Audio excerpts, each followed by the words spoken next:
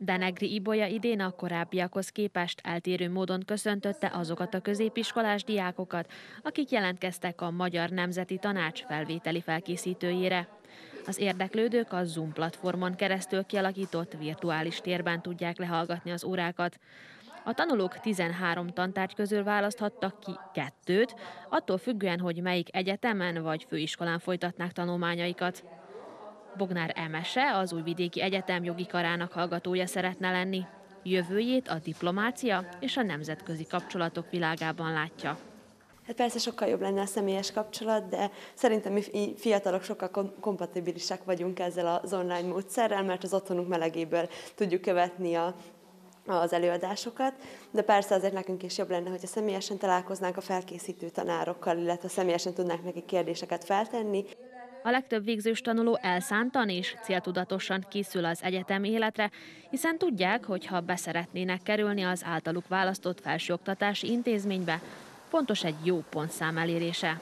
Szabadkai Építészeti Egyetem hallgatója szeretnék lenni az építőmérnöki karon, és hát azért választottam ezt a szakot, mert matematikával szerettem mindig is foglalkozni. Most is már műszaki pályán tanulok, úgyhogy nem lesz annyira nagy éles a váltás. Matematikából kell a felvételit írnom. Csikós Pajor Gizella matematikából készíti fel a diákokat a felvételire. Egy tanteremben úgy helyeztünk el számítógépet, hogy ez az egész táblát befogja, tehát mi a tábla előtt fogunk állni, és onnan fogunk a gyerekeknek magyarázni.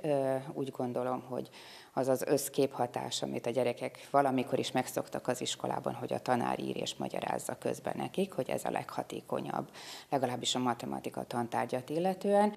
A Magyar Nemzeti Tanács 2011 óta tart felvételi felkészítőket középiskolás diákok részére, emelte ki Denegri Ibolya, az MNT végrehajtó bizottságának tagja. Mindig probléma volt, hogy hogyan tudnak eljutni a helyszínekre, ahol folyik a képzés. Most otthonról, illetve más helyről tudják ezt követni, tehát ebből a szempontból megkönnyítettük számukra.